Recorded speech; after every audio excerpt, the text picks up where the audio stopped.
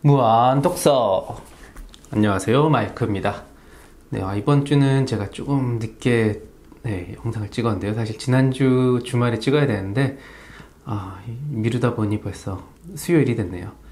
어, 제가 사실 어, 카메라 울렁증이 있어요. 이렇게 막 지금 보고 얘기하는 것도 많이 어색한데 원래 사진도 잘 안 찍고요. 이렇게 영상 찍는 거는 정말 뭐 해본 적도 없는데 이렇게 유튜브 하려고 열심히 하고 있는데 아, 지인들도 제 영상을 보고 되게 힘들어 하더라고요. 어색하고 막 오글거린다고. 그래도 열심히 하고 있으니까 아, 이해해 주시고요. 앞으로 점점 나아지겠죠.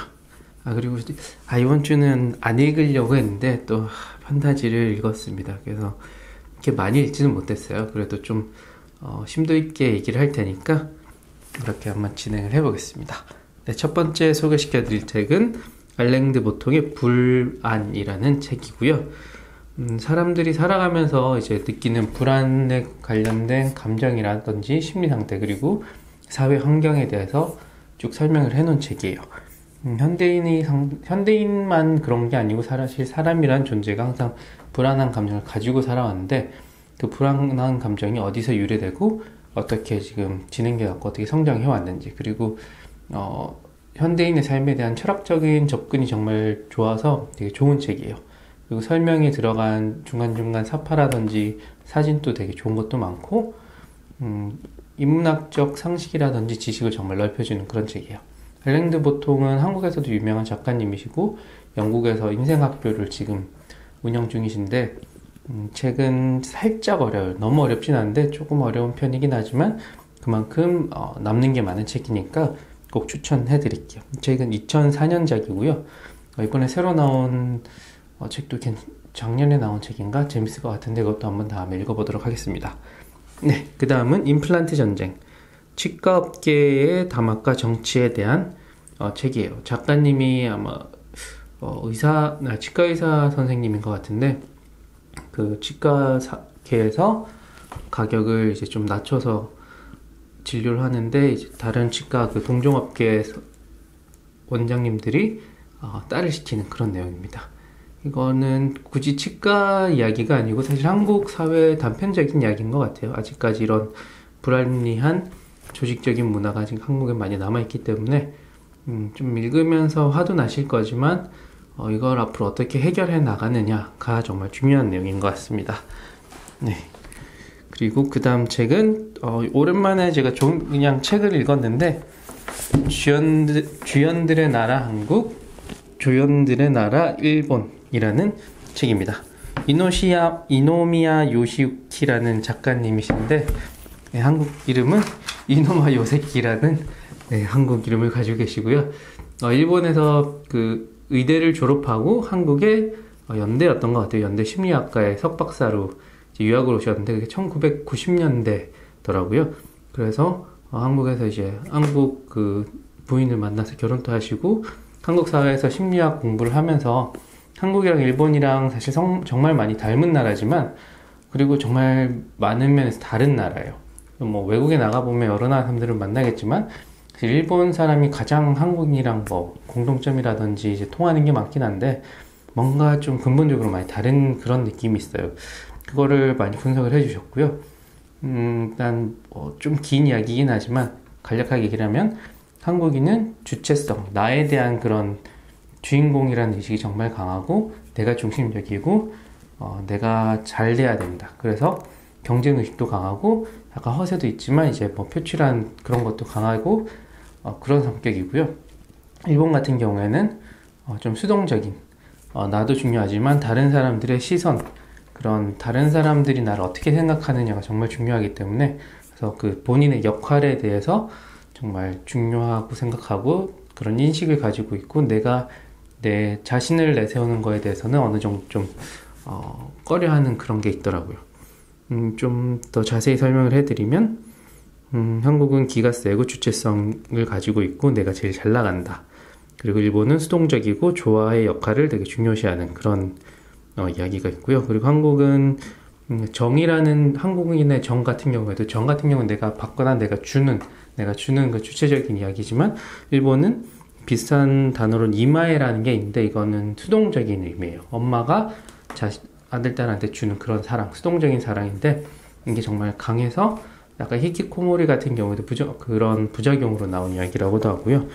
그리고 한국은 상승지향적인 우월감 가시 그리고 이제 그 계급에 대한 그런 게 좀 강하게 수직적인 그 문화를 가지고 있고요. 그래서 존댓말 문화가 사실 제일 크고 강한 나라가 대한민국이에요. 일본 같은 경우는 좀 더 수평적인. 그래서 한국에 처음 왔을 때 이제 교수님이 놀랬던 게 선배들이 밥 사주는 거에 되게 충격을 받았대요. 일본 같은 경우는 그런 경우가 없고 교수님이나 상사 같은 경우에도 여기 밥을 사는 경우가 거의 없대요. 음, 장단점들이 있고요.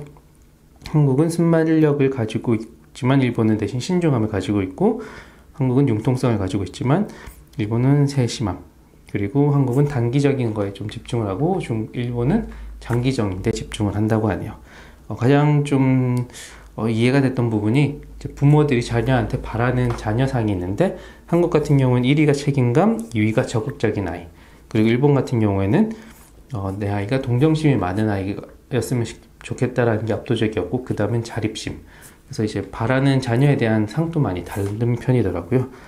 음, 정말 이제 이걸 읽으면 한국이랑 일본에 대한 이해가 전체적으로 되긴 한데 좀 아쉬웠던 거는 이제 1990년대 논문 자료를 기반으로 쓰신 책이라 아, 자료가 약간 좀 옛날 자료고요. 그리고 너무 그 논문적인 느낌이 많이 나요. 좀 더 일반 사람들이 이렇게 쉽게 쓰셨으면 좀 많이 팔렸을 건데 그리고 표지가 너무 이상합니다. 책은 좋은데 아, 다시 살짝 쉽게 고쳐서 좀 이쁘게 내주시면 아마 많이 팔릴 거예요, 교수님.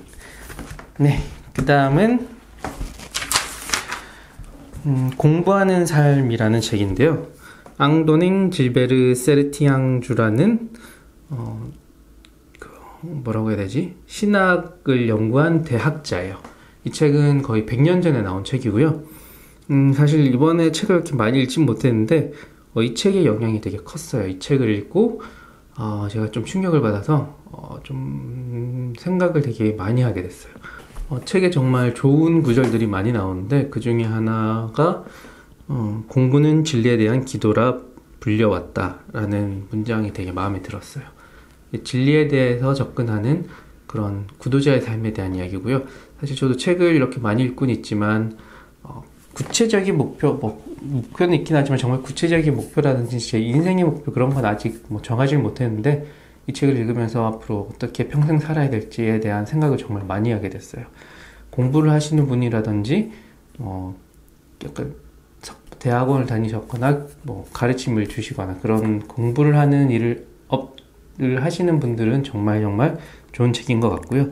약간 단점은 이게 1900년 초반에 나왔기 때문에 그 시대상이 아무래도 많이 녹아 있어요. 신학 쪽을 어, 정리한 대학자시긴 한데 그때 당시만 해도 남성과 여성의 그 역할이 확실히 달랐기 때문에 남자는 이제 공부를 하고 가정을 부양하는 책임을 가지고 거기에 대한 생활을 하면서 자신의 일상에서 한두 시간을 꼭 만들어서 자기의 학문의 그 정진을 해야 된다 그런 이야기가 나오고 부인 같은 경우에는 올바른 남, 남자가 올바른 그런 길을 갈 수 있도록 옆에서 보조를 잘 해줘야 된다 그런 이야기가 조금 나오는데 어, 그건 시대적인 그 상황이니까 많이 이해를 하시면 될 것 같고요.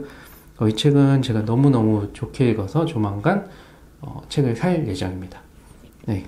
조금 어렵긴 해요. 근데 정말 추천해드려요. 이거 읽고 정말 아, 많은 생각을 하게 됐습니다. 네. 그 다음 책은 곰돌이푸 행복한 일은 매일 있어.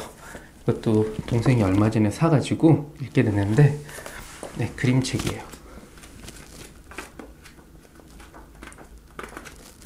약간 잠엄집 같은 느낌이고요. 그림 같은 경우에는 원작 서파라서 정말 정말 예쁩니다.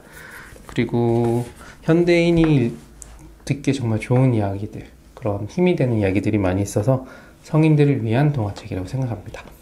어, 잠원집이라서 좋은 이야기는 나오지만 요즘 읽은 이제 자기개발서라는 정말 양질의 책에 비해서는 그냥 문장들만 있어요 몇 가지 그래서 뭐 어떤 좀 구체적인 분석은 없지만 읽으면 기운도 나고 행복해지는 그런 책이니까 음, 시간 나면 서점에서 한번 훑어보시고 구입하시면 될 것 같습니다. 네, 그 다음은 무코다 이발소 오쿠다 히데오 작가님의 작품인데요. 이 책은 홋카이도에 있는 인구가 줄어가는 폐강촌 작은 마을에서 일어나는 이야기예요. 이제 무코다 이발소에서 그 이발소를 운영하시는 주인공이랑 그다음에 동네 사람들의 사는 사, 사람 사는 이야기. 아무래도 고령화가 된 사회고 이제 젊은이들이 입이 안 되는데 작은 작은 사건들이 일어나면서 거기에서 이제 사람, 마을 사람들이 서로 이제 살아가는 그런 이야기예요.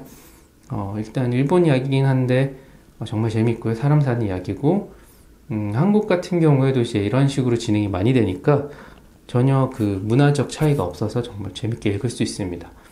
이 책도 최근에 읽은 소설 중에는 정말 손꼽히는 재밌는 책이니까 시간 내서 한번 읽어보시길 바라겠습니다. 네. 그럼 오늘 이번은 사실 그렇게 많이 읽진 않았네요. 총 6권을 읽었고요. 사실 그 중간에 제가 판타지를 37권을 읽었습니다. 네, 그거는 카운트 안 하고 지금 소개해드린 6권만 제가 카운트를 하도록 하고요. 음, 카메라 울렁증은 좀 열심히 없애도록 하고 앞으로도 좋은 책 많이 읽어서 계속 찾아뵙도록 하겠습니다. 네, 그럼 좋은 한 주 보내시고 다음에 또 찾아뵙겠습니다. 감사합니다.